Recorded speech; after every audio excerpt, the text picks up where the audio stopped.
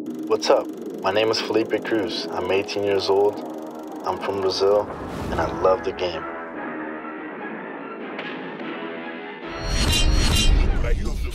Really,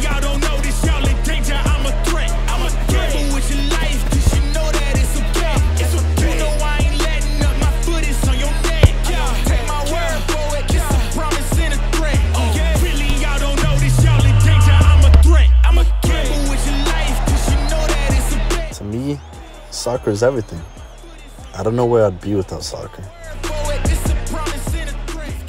A few years back, I got into a serious injury that kept me out of the fields for about eight months. Doctors even told me I wouldn't be able to play soccer anymore. Hearing that wasn't easy at all, but I had to trust God and the process, and I never gave up.